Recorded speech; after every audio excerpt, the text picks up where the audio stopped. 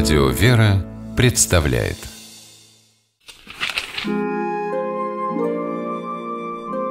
Сегодня, 10 апреля, пятое воскресенье Великого Поста, посвященное памяти преподобной Марии Египетской.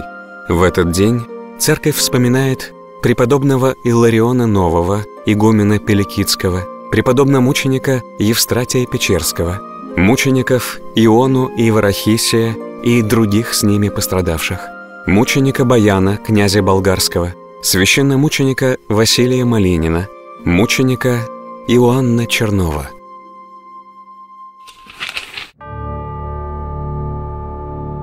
Сегодня, в пятое воскресенье Великого Поста, церковь вспоминает преподобную Марию Египетскую. Преподобная Мария Египетская родилась в Египте в середине V века. Она рано осознала свою необычайную красоту и привлекательность для мужчин. Совсем юной девушкой Мария покинула родителей и отправилась в Александрию. В шумном городе она предалась всем мыслимым порокам, наслаждаясь развратом. Такую жизнь она вела 17 лет, и ни разу сомнения или стыд не посетили ее. Однажды Мария присоединилась к паломникам, ехавшим в Иерусалим на праздник Крестовоздвижения. Она пыталась с толпой молящихся войти в храм гроба Господня, но не могла продвинуться дальше ворот, словно какая-то неведомая сила удерживала ее. Взгляд Марии остановился на образе Пресвятой Богородицы. И внезапно женщина ощутила присутствие Бога в своей жизни и то, что эта жизнь не угодна ему. Мария долго молилась Богоматери и, наконец, смогла войти в храм и приложиться к его святыням. Выйдя, она услышала голос, посуливший ей покой, если Мария перейдет за реку Иордан. Там лежала бескрайняя пустыня, в которой жили лишь монахи-отшельники. 47 лет провела в ней Мария, скорбя о своих грехах и молясь о прощении. В последние годы жизни она встретила Иннока Засиму, который и поведал миру о силе ее покаяния. В христианстве нет места брезгливости по отношению к людям с не такой репутацией, не той касты или цвета кожи. Восхождение из невозвратной бездны греха к ореолу святости открыто и возможно для каждого, так считают верующие.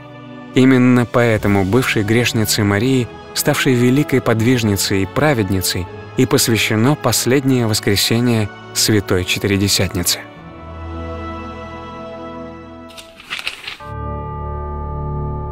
Преподобный Иларион Новый жил в VIII веке. Он с юности посвятил себя служению Богу и много лет провел в затворе. За непорочность и святость жизни он был поставлен игуменом Пеликитского монастыря близ пролива Дарданеллы. Иларион сподобился от Господа дара прозорливости и чудотворений. По его молитве шел дождь во время засухи, поля спасались от набегов саранчи, а сети рыбаков наполнялись рыбой. В 754 году монастырь подвергся нападению иконоборцев. Сторонники этой ереси считали, что поклоняться иконам — это все равно, что поклоняться идолам. Они сжигали святые образа и преследовали тех, кто хранил иконы и молился на них. Среди иконоборцев были и византийские императоры, и военачальники, и знать. На Пеликиты напал военачальник Лохана-дракон. Он дерзко ворвался в церковь во время литургии, прервал службу и поверг на землю святые дары. Иноков пытали, а позже казнили. Среди погибших был и игумен Иларион. От преподобного остались труды, в которых содержатся наставления о духовном подвижничестве. По словам преподобного Симеона Нового Богослова, святые разных эпох и народов образуют в едином Боге единую золотую цепь, связанную верой, делами и любовью. Мы верим, что ныне преподобный Иларион предстоит перед Господом и обращаемся к праведнику. Моли Бога о нас.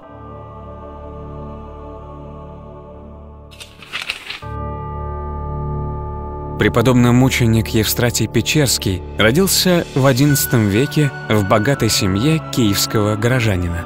С возрастом он раздал свое имение нищим и принял монашеский постриг в Киево-Печерском монастыре.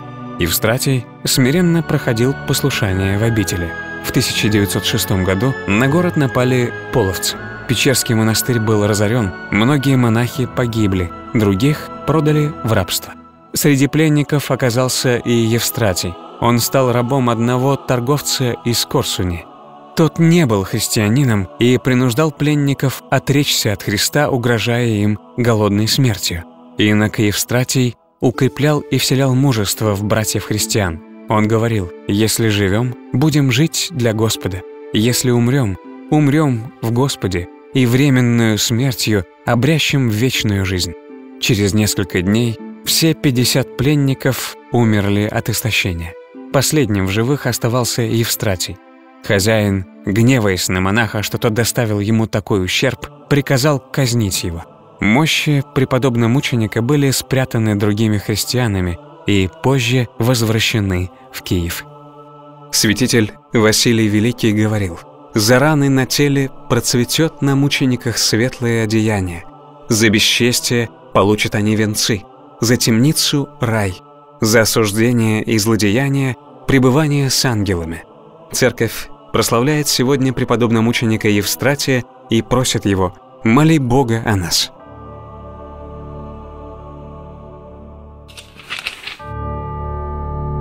Мученики Иона и Варахисий жили в IV веке в Персии. В этом государстве было немало христианских общин, церквей и монастырей.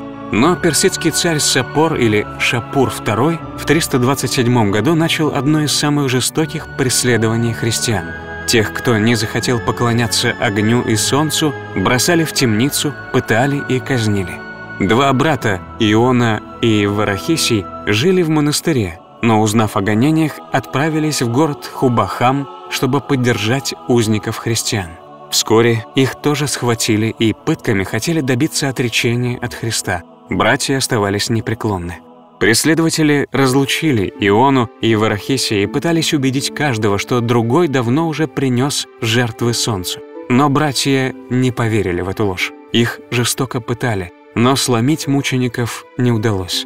Палачи испугались, что свидетели стойкости Иона и Варахисия сами примут их веру. Христиан стали пытать ночью. Перед смертью Иона произнес «Жизнь подобна зерну. Тот, кто бросает жизнь во имя Христова, снова обретет ее в день воскресения, когда надеющиеся на Него предстанут рядом с Ним». Для Бога все живы, и мученики дней минувших ныне предстоят перед Господом в Церкви Небесной. Мы обращаемся к ним как к живым самолитвенникам и просим, «Святые Иона и Варахисий, молите Бога о нас».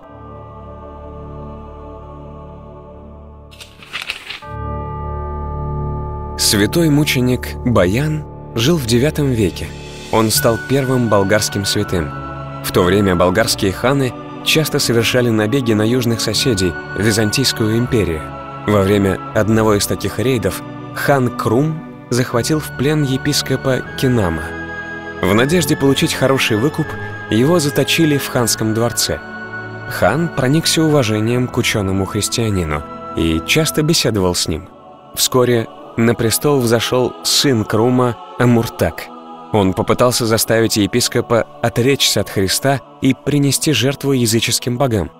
Кинам отказался и был брошен в темницу.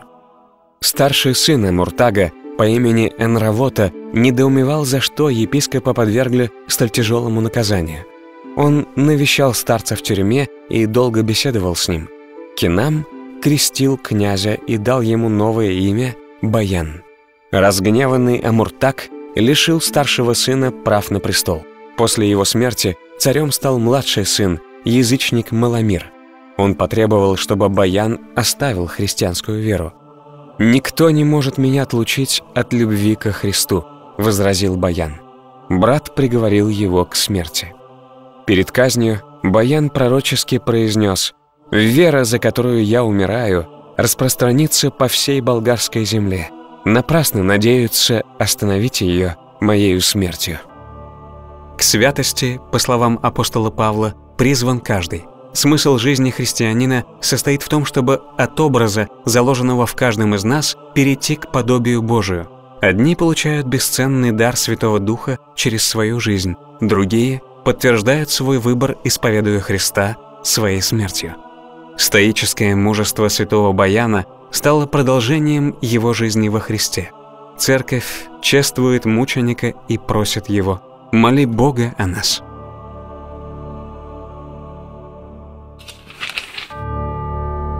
Священномученик Василий Малинин родился в 1877 году во Владимирской губернии. Он закончил семинарию и принял сан. Служил отец Василий в храме во имя преподобного Корнилия в Переславле. В 1936 году НКВД завело дело на протеерея Малинина. Были допрошены местные школьники, которые показали, что некоторые ученики, в том числе и пионеры, ходят в церковь. А Малинин угощает их просфорами, рассказывает про праздники, расспрашивает, как кого зовут и рассказывает про именины каждого, зовет приходить на Рождество и Пасху, обещает дать свечек для елки, а также заводит некоторых учеников в алтарь и показывает, что и где находится. Со стороны ребят главным зачинщиком походов в храм все назвали пионера Колю Ранеткина – к его матери частенько приезжают из воинской части и устраивают пьянки. Колю в это время из дома выгоняют, вот он и собирает ребят и уходит в церковь. Протеерея Василия Маленина вскоре арестовали. Его приговорили к 10 годам лагерей. В 1938 году отец Василий скончался в одном из лагерей Дальнего Востока. В гонениях на церковь в 20 веке пострадали не только видные архиереи, образованные богословы и яркие проповедники, но и простые священники. В чем их подвиг и пример для всех христиан? Священномученик Василий Малинин жил так, что в центре его мира были Христос и Церковь. Он делился радостью этого пребывания в Боге с прихожанами, был чуток и внимателен к детям. Его исповеднический подвиг стал продолжением его веры. Сегодня церковь вспоминает священномученика Василия и просит его «Моли Бога о нас».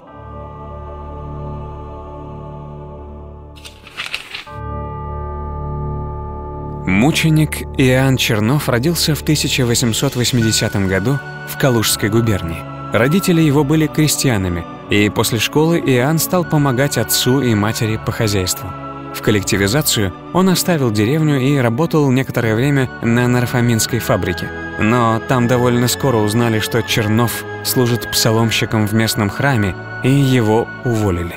Он вернулся в деревню, обнаружил, что местный храм закрыт, и стал добиваться назначения в храм священника и возобновления богослужений.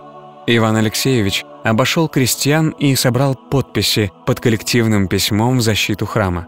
Это прошение он в день выборов в Верховный Совет опустил в урну вместе с бюллетенем. Бумага сразу же попала в НКВД.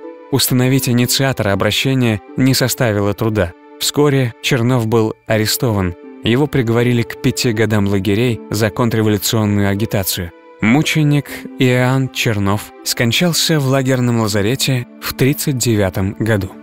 По словам патриарха Московского и всея Руси Кирилла, наша память о святых XX века сродни венку на их могилу, которая подчас неизвестна или безымянна. Церковь верит, что новомученики ныне предстоят перед Господом и просит сегодня мученика Иоанна «Моли Бога о нас».